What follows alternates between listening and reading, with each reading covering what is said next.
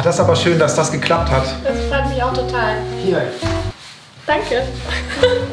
Na? Na? Das ist schön, dass wir uns endlich mal treffen. Oh, ihr seid ja auch da. Ach, wie lustig. Hallo. Herzlich willkommen zu diesem Video. Ich habe nicht nur einen besonderen Gast dabei, nämlich die Julia, sondern wir haben auch eine kleine Schüssel mit Anmachsprüchen. Ich habe gefragt, habt ihr irgendwelche interessanten Anmachsprüche, peinliche Anmachsprüche, lustige, irgendwas? Und ihr habt ganz viele eingesendet. Und die werden wir jetzt gleich durchgehen und bewerten, ob die gut sind oder nicht. Kribbelt's eher nicht so, kribbelt's Genau. positiv, kribbel's negativ. Wenn du ein Kribbeln im Bauch verspürst, das kann auch Dünnschiss sein. Wird's Sehen. warm, wird's kalt. Genau, will man Aber- kotzen. Alarm! Schön, es läuft. Gut, das passiert. Warte, ich hole eine andere. Jetzt haben wir es doch ein bisschen besser hier. Toll. Machen uns doch einfach mal ein bisschen gemütlich, ne? Ja, machen wir uns einen schönen Abend. Hast du schon mal in so einem Setting gegessen? Also warst du wirklich mal in so einem in so einer Restaurant oder was auch immer? Sod, was sich so anfühlt. Wenn dann lange her. Aber ich bin ja in einem Alter, wo man sich keine Mühe mehr gibt. Ach so ist das so. Es ist immer schön, sich Mühe zu geben. Auch hast- mit 40. Äh, ich lese jetzt einfach mal diese Einsendung vor. Okay. Wäre ich eine Katze? Was? Ja, man kann sich doch mal vorstellen, wie es ist, auch so ein Tier zu sein. Also wäre ich eine Katze, dann würde ich alle neun Leben mit dir verbringen. Oh, ja, das ist süß. Ja, ist irgendwie cute. Haben Katzen neun Leben? Ich dachte sieben. Aber ich würde sogar neun, sogar mehr als die Sogar Katzen mehr haben. als ja. Oh Mann, das ist Weil wirklich ich noch- schön. Also ja. wenn jemand das zu mir sagen würde, das fände ich sogar gar nicht cringe. Das fände ich süß. Ich habe auch eigentlich Schlimmeres erwartet, als ich jetzt hier was auf. Ich hätte erwartet, dass da irgendwas Ekelhaftes kommt. Soll ich mal? Ja, mach gucken, ob gerne was mal. Ekelhaftes kommt? ja, okay, das geht mehr in die Kategorie ekelhaft. Bist du scheiße? Denn ich würde dich gerne lecken. Das geht eher in die Kategorie ekelhaft. Das geht extrem in die Kategorie ekelhaft. aufgefallen. Es, ist, es geht um Kotlecken, Julia. ja, das hab Schon ich ziemlich ekelhaft. Kann ich dir eigentlich äh, Wein einschenken? Oh, sehr gerne. Weißt du, was das ist? Das ist ein 1875er ähm, Rosé à la Franche Fromage. Rosé? Cabernet Sauvignon Solat. Du hast es aber auch nicht sehr französisch ausgesprochen, muss ich sagen. Prost. Macht gar nichts. Das ist ein Schmackofatz. Toller Tropfen. Oh, ich hasse Rotwein. Zu Vino sage ich Nino. Als Maul. Ja, dann äh, möchte ich dir noch etwas sagen. Was möchtest du Stelle. mir sagen? Ich habe gewartet auf diesen Moment, weil ich bin kein Astronaut. Okay, das wusste ich gar nicht. Ich dachte, du wärst einer. Nein, ich bin kein Astronaut. Aber ich möchte trotzdem gern dein schwarzes Loch erkunden. Vollwichser, Pisser, Wichser und Spacko. Ich find's halt geil, mir gefällt das. Ich hatte erst kurz gehofft, dass jetzt sowas wie Sterne vom Himmel holen oder so kommt, ne? Schwarzes Loch klingt auch Aber einfach nicht schwarzes schön. Loch klingt auch sehr ausgeleiert. Das, wird, das saugt so Sachen in sich rein und das hat so ein Eigenleben. Ja, klingt aber auch einfach erstmal sehr groß. Und du kommst, wenn du einmal drin bist, kommst du nicht wieder raus. Also du einmal eingedrungen bist, bleibst du für immer Dann drin. bleibst du für immer. Ich war da noch nie. Und ich würde auch nicht hinwollen. Deswegen möchte ich nicht, dass du mein schwarzes Loch erkundest. Aber ich hingegen bin zwar kein Fahrrad, aber ich habe so einen krassen Ständer gerade. Ey, das freut mich wirklich. Das Ja, ne? Finde ich klasse, dass du auch so offen über deinen Ständer redest. Man kann es eh jetzt erblicken, so ist halt auch Ja, es ziemlich groß. ist massiv. Guckt Also halt ihr auch- seht's gerade auf der halt Kamera. auch raus. Wir Deswegen dachte ich, tun ich, da was Schwarzes ich drüber. spreche aber- den Elefanten im Raum einfach mal an. Elefant ist gut, ja. Pferd könnte man auch sagen. Ja, Also, Leute, lasst euch davon aber nicht einschüchtern. Es ist auch in Ordnung, wenn ihr was durchschnittlich habt. Klein ist auch okay. 5 cm sind Durchschnitt, ne? Mhm. Sind doch. Ja? Ja.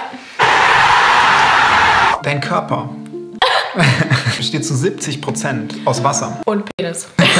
Dein Körper besteht zu 30% aus Penis und 70% Wasser. Und ich bin sehr durstig. Ah. mh. Nee, finde ich nicht so gut. Mann. Ich glaube, das kannst du besser. Okay, Julia, dein Körper besteht zu 70% aus Penis. Ja. Und ich mag Penis. Ich bin jetzt mal gespannt, Ich was habe du mir zu auch sagen hast. was zu sagen. Wieso hast du einen Keller? Ich habe einen Keller, ja. Aber bist du ein Keller? Ich bin kein Keller. Schade, ich würde nämlich gern ein paar Kinder in dich stecken. Mein Gott. Julia! Das habe ich nicht gesagt. Das hast du dir ausgedacht gerade? Das steht da wirklich. Zeig mal. Da, das steht da, ich war das nicht. Kann das man in nicht. der Kamera nicht lesen. Ich äh, finde dich einfach toll. Deine Augen sind schön. Hier steht was ganz anderes, Julia. Okay, jetzt kommt ein Intellektueller. Mal gucken, ob ich den verstehe. Ich und Grundgesetz, Paragraph 1, zweites Wort. Ist das euer verdammtes Ernst? Die Würde des Menschen ist unantastbar. Ah, ich würde. Ja, Du würdest. ich würde. Was würdest du? Ich bin jetzt aufgeregt. Das hast du nicht durchgedacht. Meine Aber du Freund- könntest so viele gute Sachen darauf sagen. Was würdest du darauf antworten? Ich frage dich jetzt, was würdest du? Ähm, in dein schwarzes Loch. Vor allem gerade noch so, darauf kannst du auch voll viele gute Sachen sagen. Ja, ich, da ist eine Kamera. Ach so, du willst nicht so Sachen sagen. Nein. Okay. Dann denken die Leute ja, ich bin pervers. Und das will ich nicht, weil das bin ich nicht. Mhm. Denn ich bin der Räuber Hotzenplotz. Ich hab ihn da nach Hotzenplotz.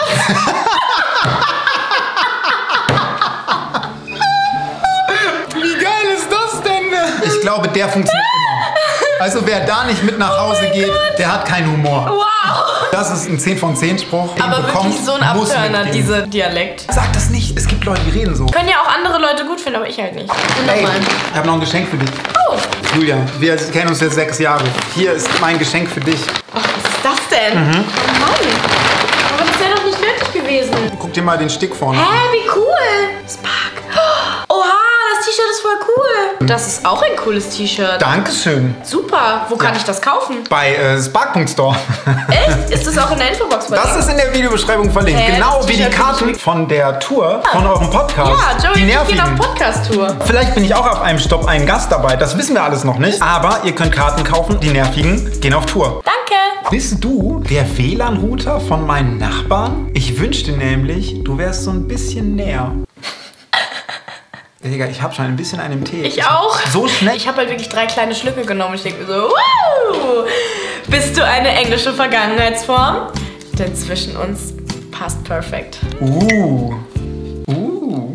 Ey, ich finde den gar nicht so doof, weil wenn man den zum ersten Mal hört, ist es halt so, ah. Ich finde aber, es ist trotzdem cringe. Ja, aber es ist so ein, oh, cringe. Ja, genau. Aber ich möchte an der Stelle die Gelegenheit nutzen, um mal ganz offen zu reden. Okay. Wir kennen uns ja jetzt schon länger und ich möchte an der Stelle ganz klar sagen, Mhm. ich bin Möbelpacker.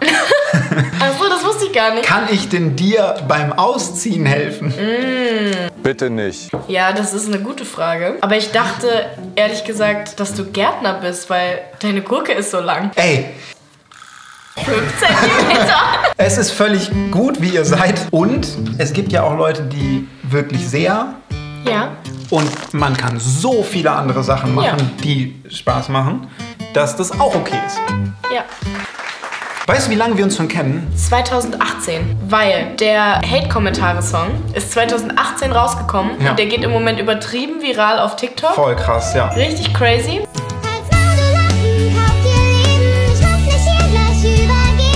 Ja, der war im 2018. Januar 2018, das Ja. heißt, wir kennen uns jetzt praktisch sechs Jahre. Ja. Und nach dieser langen Zeit wollte ich dich fragen, bist du Medusa? Denn jedes Mal, wenn ich dich ansehe, werde ich hart. Oh, Seit sechs Jahren. seit sechs Jahren, Ja, jedes, Mal. Und ich dachte, das ist jetzt der Augenblick, wo ich es einmal sagen kann. Weil es ist auch belastend. Es schränkt ja auch ein im Alltag. Ich meine, es ist was Besonderes, dass das immer so ist, aber weißt du, zwischen Heroin und dir würde ich trotzdem immer dicht wählen. Baby Girl. Baby Girl kommt dann noch? Wer der schickt denn sowas ein? Baby Girl Baby mit U Girl geschrieben. mit U. Ich finde, man kann in jedem Spruch am Ende Baby Girl hinten ansetzen. Es wird nur besser. Also merkt euch das auch für eure Ja, Sprüche. Immer Baby Girl. Okay, sag mal eine Zahl von 1 bis 10. Eins. Falsch, zeig Titten.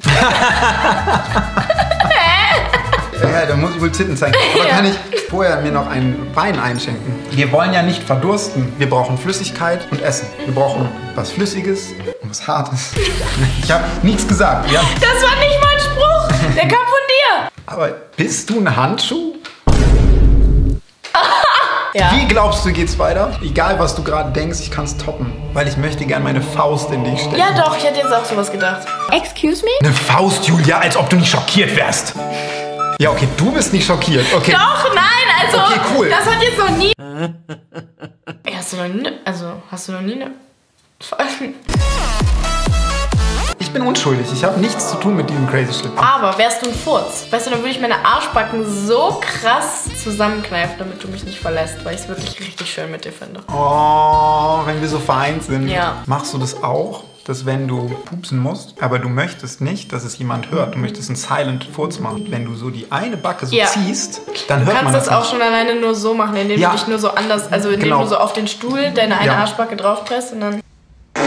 Das ist total Fall. schön, weil ich sitze im Office neben Lisa Mhm. und Lisa kann nicht riechen. Ich dusche mich halt auch nicht, ne? Also ich, Ich weiß, ich weißt, das. Du, du, du merkst Ich das. kann riechen. Du merkst das, ja. Du weißt, ich glaube, das letzte Mal, als ich mich geduscht habe, war 2018. Stimmt, da hast du noch ganz gut gerochen. Und Genau. es irgendwie jedes Mal, wenn ich dich gesehen habe, es ist schlechter. schlimmer geworden, genau. Ja. Aber willst du Poker spielen? Ey, warte, stopp. Du stinkst, gehen wir duschen? Das hast du gerade gezogen. Das hab ich? Wie, wie magisch ist denn diese Das ist Bowl krass, hier? ne? Ist ja komplett magisch. Ey, Toll. wie hast du das gemacht? Weiß ich nicht, Digga. Er ist sehr gut in Anmachsprüchen auch. Mhm. Sind alle auch von ihm, ne? Genau, ich habe zwar gesagt, ich rufe öffentlich auf, aber eigentlich hat Jakob die alle geschrieben, weil er ist halt der Meister. Ich sehe ihn ganz oft auch, wenn ich so durch die Stadt laufe, wie Jakob da steht und so Anmachsprüche droppt. Ich bin der Aachener. Ich bin der Arschficker. Und er geht mit 20, 30 Frauen nach Hause. Also die, die sammeln sich dann immer hinter ihm und das ist wie so, ein, wie so kleine Küken, die hinter der Entenmama hergehen. Ich bin der Aachener. Ich bin der Arschficker. So an der Stelle kann man es ja sagen. Ja, also es sind auch Also der hat, so viel, der hat so viel Game, das ist äh, unangenehm. Aber willst du Poker spielen? Ah ja, was? Du könntest mein Ass Ass haben. Ja, es funktioniert schriftlich, glaube ich, besser als zum Aussprechen. Weil geschrieben ist Ass und Ass gleich, aber Ja. gesprochen halt nicht. Die Leute checken das schon und so. Man braucht sich ja auch nicht so dumm stellen und so. Ja, trotzdem nee. Weil man Ja, muss so umdenken. Du musst dein Glas auch austrinken, ne? Ich helfe dir. Danke. Ja. Aber ich bin ganz gut drauf. Bist du drunter? Nice. Ey, aber ganz ehrlich, ganz kurz. Das funktioniert andersrum besser, weil wir wissen alle, ihr Frauen haltet nicht lange aus oben. Entschuldigung. Facts, ist so. Wir wissen alle, dass ihr Frauen oben nicht die Kondition habt, die ihr erwartet Spaß. äh, von ohne, uns. Ja, ohne Spaß. Ja. Ja? Ja, Deswegen finde ich es so toll, eine Frau zu sein. weil man dann so Wirklich? Pillow Princess mäßig liegen kann Ja. Und ähm, der Typ Wenn macht ich die drüber Arbeit. nachdenken müsste, dass ich diese Zeit lang Ja. die Arbeit machen müsste, auf die Art und Weise, wie, Wie der Mann es die ganze müssen. Zeit macht, so anstrengend wie es ist, wenn man da oben Ja. drauf ist. Ich wäre so schlecht. Alle würden sagen, ich bin schlecht im Bett. Das haltet euch das bitte alle vor Augen. Alle passiven Respekt, Parts haltet euch vor Augen, dass der aktive Part körperlich angestrengter ist. Das Ding ist, Ja. obwohl wir uns halt jetzt schon eine Weile kennen. Wir haben schon viel gequatscht, aber ich weiß halt immer noch nicht, ob du wirklich schön bist. Weil Schönheit kommt ja von innen und ich war noch nicht in dir.